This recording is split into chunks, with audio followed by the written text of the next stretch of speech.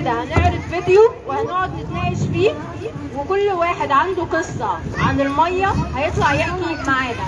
ماشي؟ اتفقنا؟ أنا مش سامعة حاجة. اتفقنا؟ اتفقنا؟ واقفين؟ سمع يلا نبدا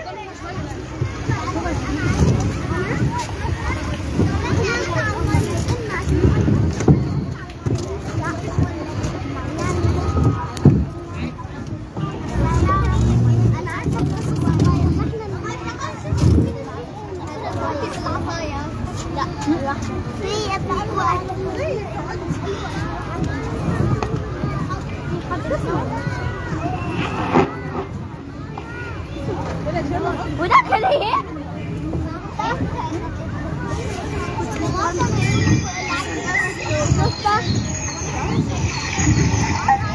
من أين يأتي الماء؟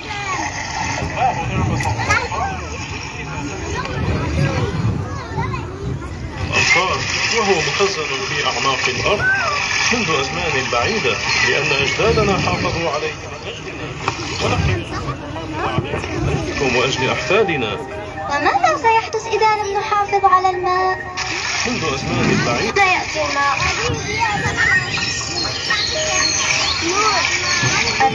من أين يأتي الماء؟ الماء نعمة من الخالق. فيها تحيا الحياة. الماء يا ولدي يأتي من الأمطار. وهو مخزن في أعماق الأرض. منذ أزمان بعيدة. لأن أجدادنا حافظوا عليه من أجلنا. ونحن يجب أن نحافظ عليه من أجلكم وأجل أحفادنا.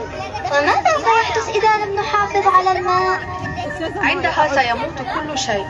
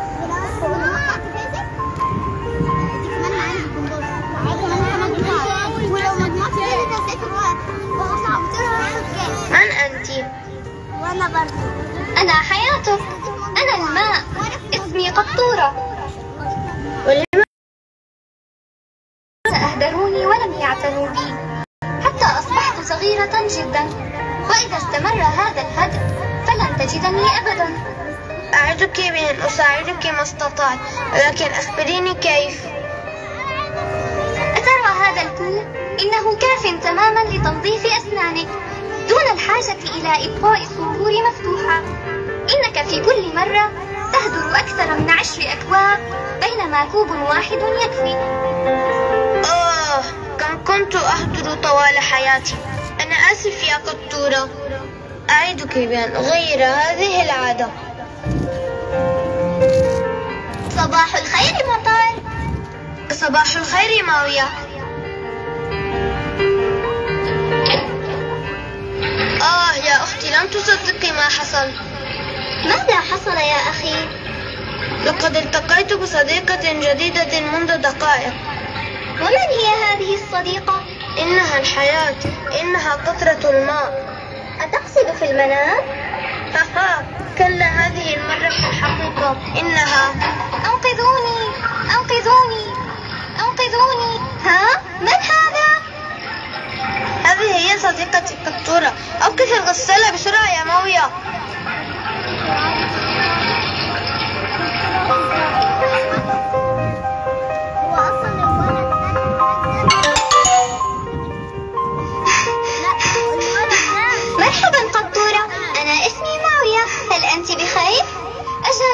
ماوية يا ماوية. أعتقد أني لا يجب أن أستعمل الغسالة. أليس كذلك؟ كلا يا عزيزتي. يمكنك استعمالها ولكن بحكمة. ماذا تعني بحكمة؟ انتظري حتى تتجمع كمية كافية من الثياب بحيث تمتلئ الغسالة إلى آخرها وعندها يمكنك تشغيله آه فهمت. لأن الغسالة تستعمل نفس كمية الماء. حتى لو كانت فارغة أشكرك يا قطورة على هذه المعلومة. لنذهب إلى أمي في المطبخ ونعرفها على ضيفتنا الجديدة.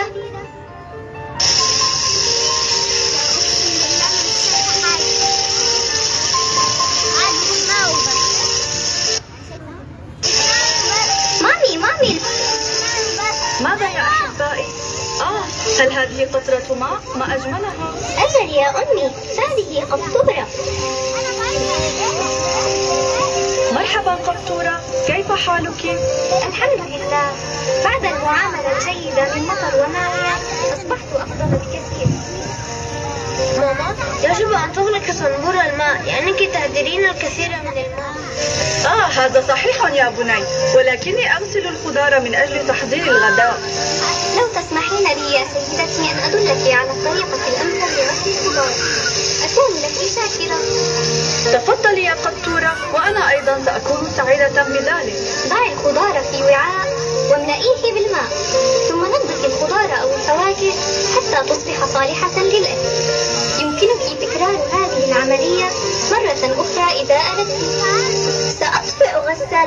غسالة الأطباق لأنها غير ممتلئة مما يستهلك الكثير من الماء. حسنا يا أطفال لما لا تخرجون إلى الحديقة لتلعبوا ريثما أحضر الغداء؟ حسنا يا أمي سنعرف أصدقائنا على قطورة.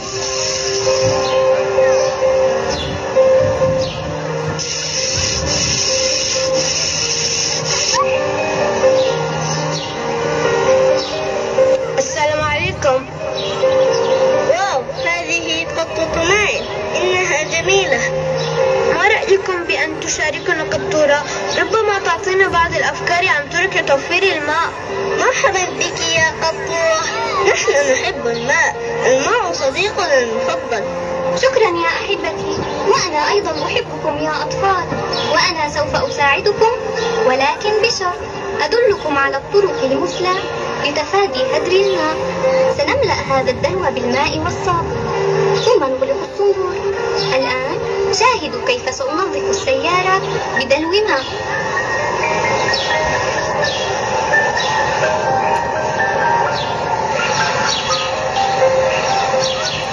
شكرا لك يا صديقتي.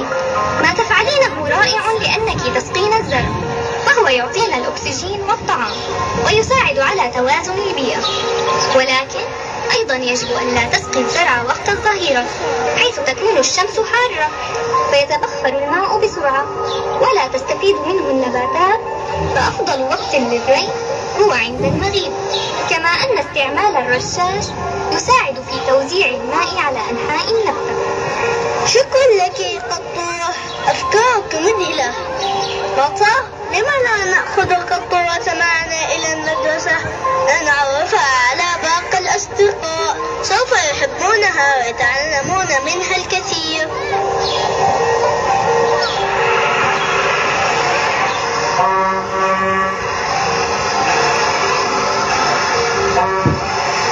وتشير الدراسات إلى أن طرق الري واستغلال المياه الجوفية عرفت في دولة الإمارات منذ بداية الألف الثالثة قبل الميلاد.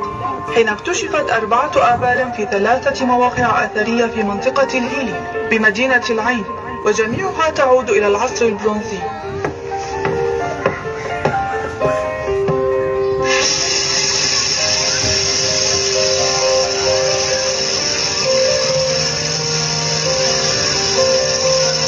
انتبه يا مطر أنت تهدر الكثير من الماء. ألا تذكر الحديث الشريف؟ لا تسرف في الماء ولو كنت على نهر جاري أوه أنا آسف يا قطورة. لقد نسيت والآن انظري إلي. سوف أتوضأ بأقل كمية من الماء.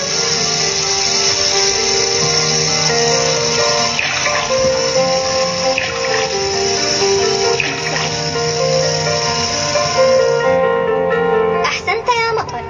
أنا فخورة بك جدا. إنك بذلك سوف تنال رضا الله وتفيد بيئتك ومجتمعك ووطنك. وأتمنى أن يحذو الجميع حذوك أشعر بأنني أكبر شيئا فشيئا. أقول لك من كل قلبي شكرا.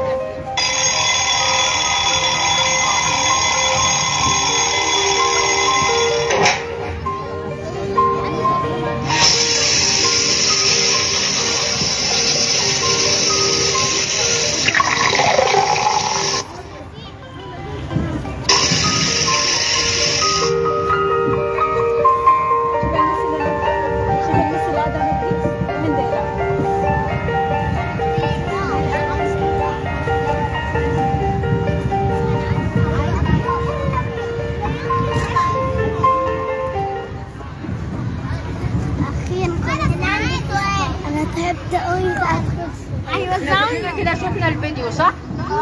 ارفعوا ايديكم ليه؟ ما طلعتش حاجة. دلوقتي الأول قبل ما نشوف هنتكلم عن موضوع إيه؟ آه لو حد فيكم حافظ آية قرآنية أو حديث بتتكلم عن إن إحنا نحافظ على حاجة أو ما نصرفش فيها هيطلع يقولها. حد حافظ آية أو حديث بتتكلم عن الإسراف في الحاجة إن إحنا بن- بنعمل الحاجة كده وخلاص. من غير ما نهتم بيها هيطلع يقولها. تمام. تعالي اسمك إيه؟ هنسمع علاء هتقول إيه؟ وجعلوا من الماء كل شيء آه، آلاء قالت دلوقتي إيه وجعلنا من الماء كل شيء حي. حد يعرف يطلع يشرح لي اللي آلاء قالته؟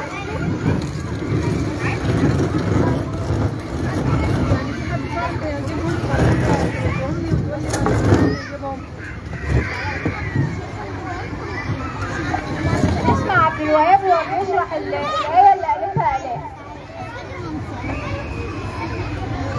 آلاء قالت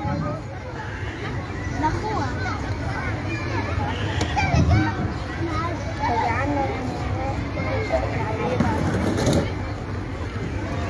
كل شيء حي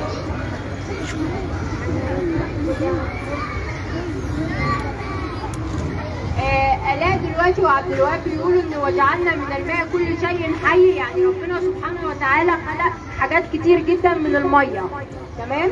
آه، فعشان كده إحنا لازم نحافظ عليها عشان هي لو خلصت هنشرب إزاي؟ هنغسل وشنا إزاي؟ هنتوضى إزاي؟ لو المية خلصت حد تخيل كده إن مفيش مية خالص؟ ساعتها هيعمل إيه؟ عندك سؤال؟ حاضر. كده عندك حديث أو إيه تطلعي تقولي طب إيه هتطلعي تشرحي الفيديو؟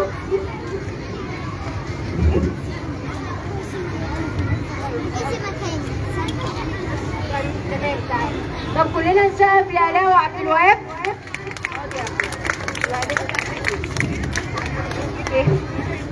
هنسمع لوجينا هتقول إيه؟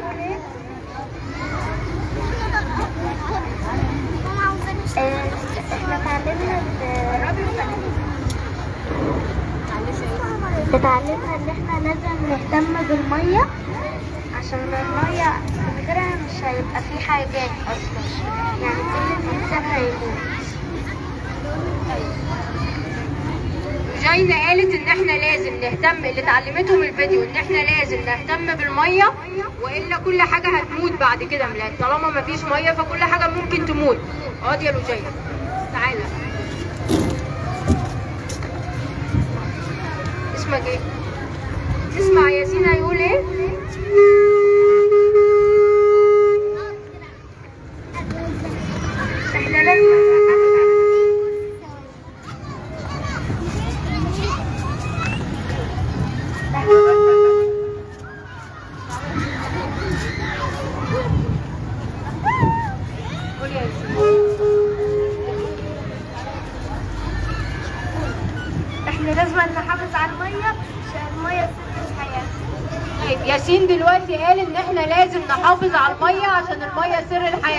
الحياة كلنا نسقف لياسين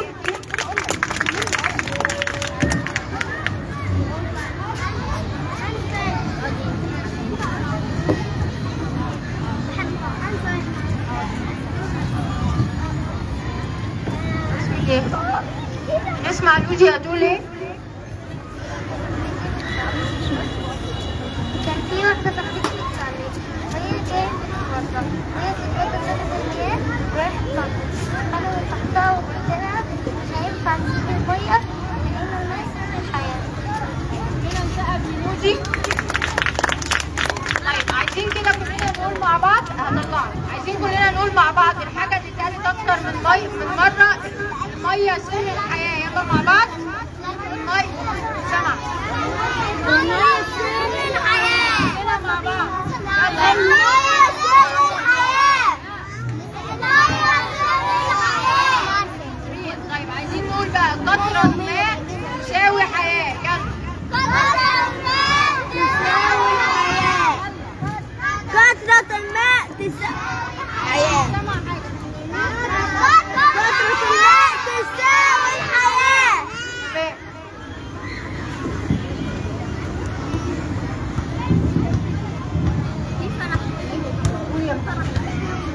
لازم نحافظ على المية عشان المية ده حاجات كتير وضرورية طيب محمد كلنا نسقف لمحمد. محمد قال إحنا لازم نحافظ على المية عشان المية ربنا خلق منها حاجات كتير. تمام؟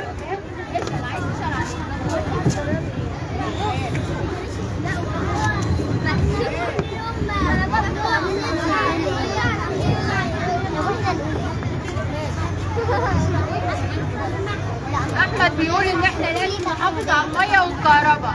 كلنا نسقف لأحمد. هنشوف فيديو تاني دلوقتي.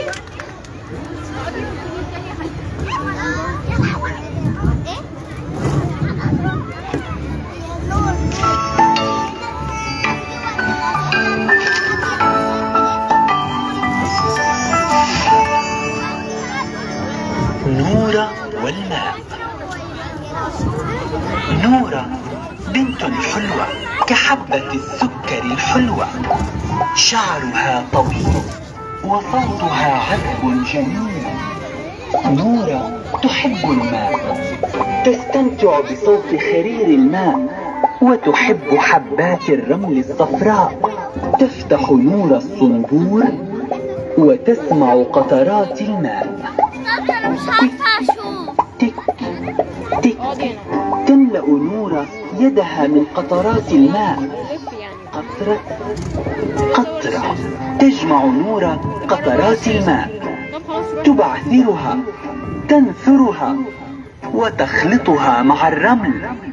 تلعب نورة تارة بالرمل وتنثر الماء وتارة تخلط الرمل بالماء وتارة تصنع بيتا وتصنع قلعة. ثم تحفر حفرة وتملأها ماء. نورة تحب الماء تحب خرير الماء تلعب نورة مع صديقاتها لما والجوهرة وأروى بالماء والرمل.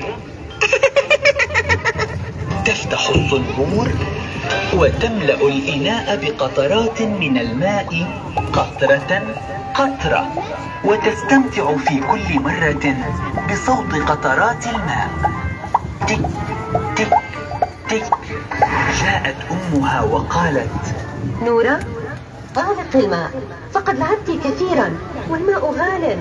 يجب أن نحافظ عليه. منه نشرب منه نأكل. نورة تحب الماء وتستمتع بصوته وبقطراته. تحسب نورة أن الماء كثير لا ينتهي فهي ترى أن البحر كثير ومداه كبير. لذا فهي لا تكف عن اللعب بالماء. ذات مساء نامت نورة وجاءتها الأحلام. حديقة خضراء وورود حمراء وماء كثير. تك تك تك. وفجأة تنتهي قطرات الماء. تفتح الصنبور بقوة تبحث عن قطراته ولكن تنتهي القطرات وتركض وتركض وتركض. عطشت نورة فقد ركضت كثيرا بحثا عن الماء وبدأت تبكي وتبكي. لا صوت للبكاء ولا دموع وهذا ما أتعب نورة وزاد من ألمها تعبت نورة من البحث عن الماء. واشتاقت لصوت قطرات الماء. تك تك تك. استيقظت نورة من النوم وعرفت أنها كانت تحلم وسمعت خرير الماء في الحمام. قامت وركضت وأسرعت وأقفلت الصنبور ووجدت كأس ماء على الطاولة بالقرب من سريرها. قالت بسم الله الرحمن الرحيم. وشربت منه ثم قالت الحمد لله. عرفت نورة أن الماء سر الحياة ومن قطراته نسقي الزرع ونسقي الحيوان. ونشرب ونحمد الله وأن حبنا للماء أن نحافظ عليه كما قالت لها أمها.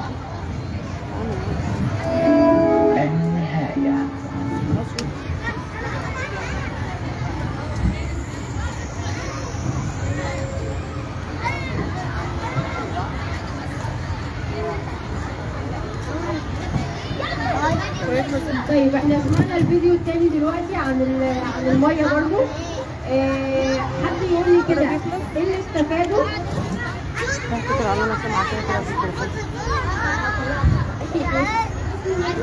نسمع منها هتقول إيه؟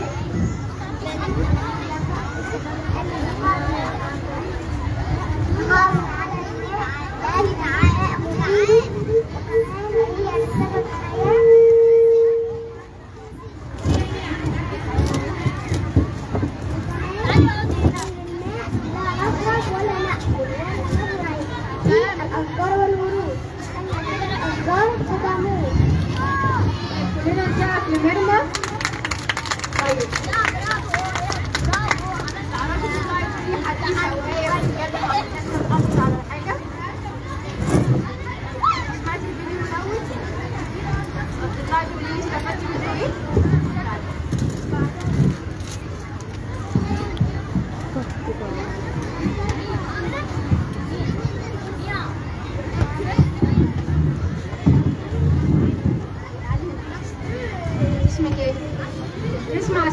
बोले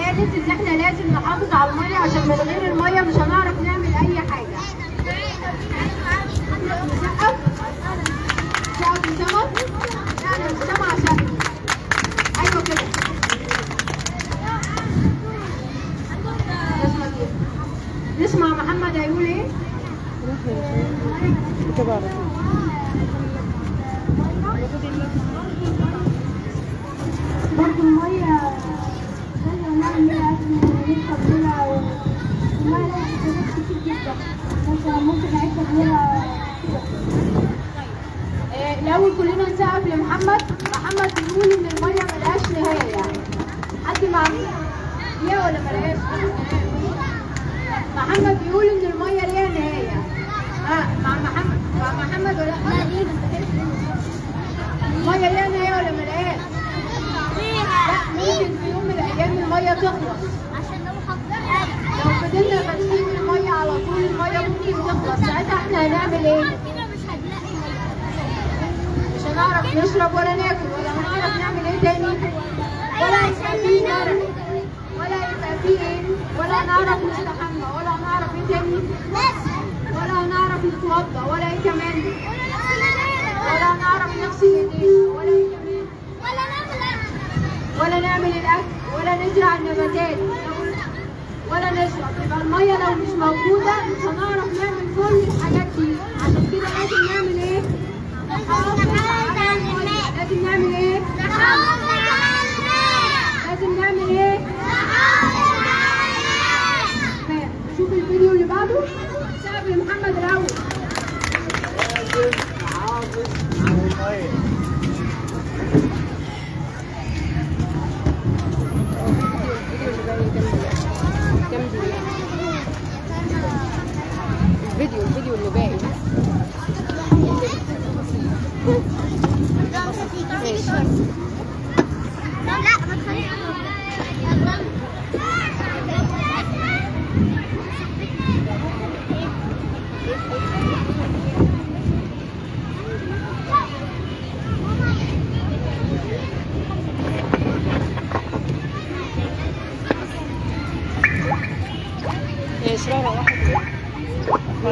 تساءلت يوما من أين يأتي الماء الذي تشربه؟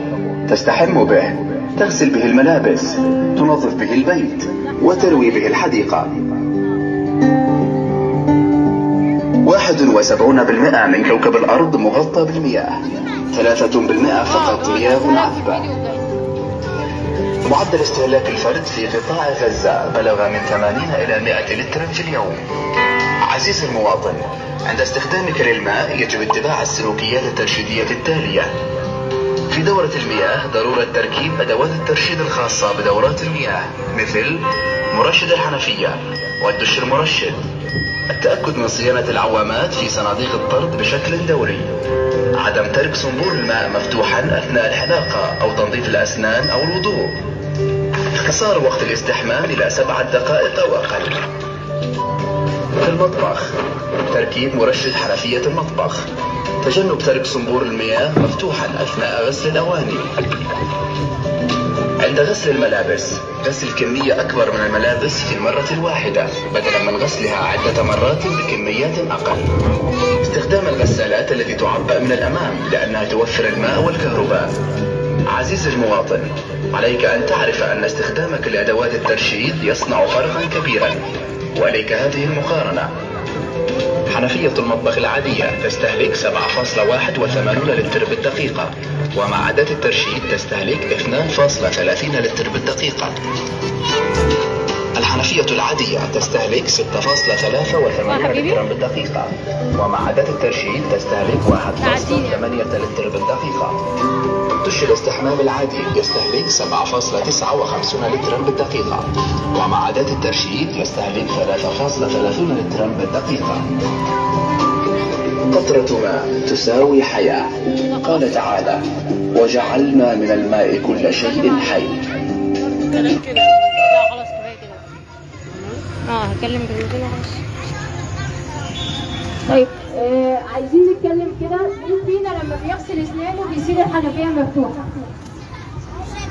محدش بيغسل اسنانه؟ طب لما بنغسل اسناننا بنعمل إيه؟ طيب ولما بنغسل ايدينا ما بنغسلوها إزاي؟ أيوه بتغسلوها كده اهو فين المية؟ الحنفيه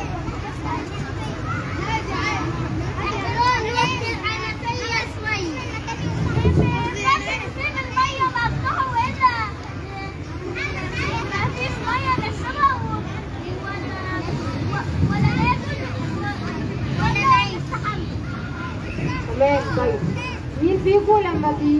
بيجي مثلا يدخل ياخد دش بيفضل فاتح الحنفية وسايبها؟ ومحدش يقول لا أكيد في حد كان بيعمل كده كنت بتعملي إيه بقى؟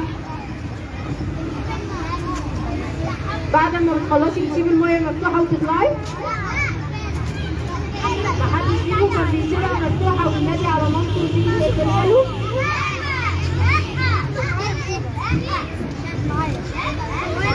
يسوي آه طيب عايزة حد دلوقتي يطلع يحكي قصه عن المية.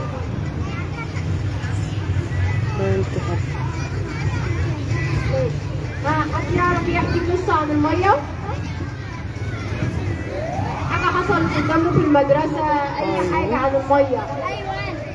تعرف تحكي حاجة حصلت عن المية قدامك في المدرسة؟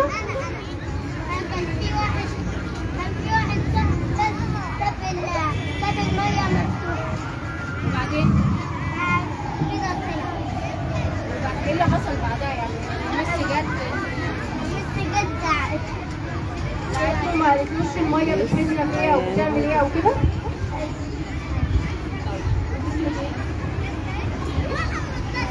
نو اورنج نسمع رجاله هتقول إيه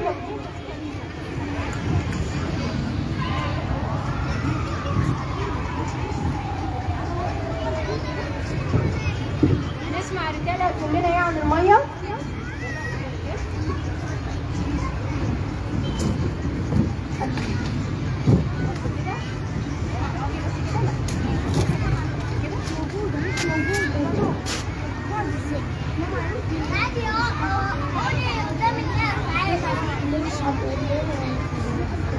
أصحابي عادي وشافوني مفتوحة رجالة قالت ان هي قبل كده شافت اصحابها بيفتحوا الحنفية وشايفينها مفتوحة وراحت كلاس عادي دي حاجة صح ولا غلط؟ تمام طيب كلنا نسقف للرجال حد عنده حاجة تانية يقدر يطلع يحكيها تعالي اسمك إيه؟ نسمع كنزي هتقول إيه؟ أنا مرة حصلت إن صاحبتي أصلا ساب- سابت المية مفتوحة وقلت لها ما ينفعش كده. ممكن المية تخلص؟ ممكن نوصل من مش هنلاقي مية عشان نشرب منها. موجودة. طيب كلنا نسقف لها طيب أنتوا كلكم شاطرين قوي النهارده.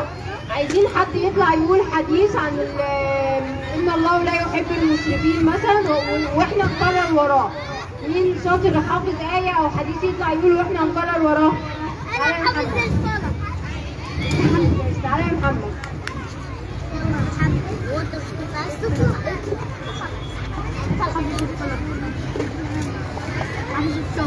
طيب هنقول وراه يلا كلنا مع بعض. إن الله لا يحب المبذرين. يلا كلنا نقول ورا محمد. هو يقول وإحنا هنقول وراه إن الله لا يحب المبذرين. إن الله لا يحب المبذرين فاحنا النهارده استفدنا ان إحنا اول حاجة لازم نحافظ أنتوا اللي هتقولوا بقى لازم نحافظ.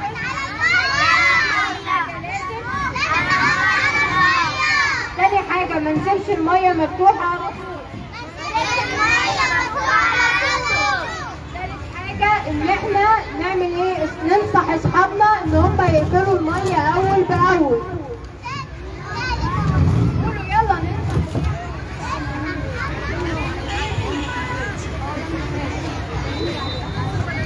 تالت حاجة إن إحنا ننصح أصحابنا إن هم يقفلوا المية على طول.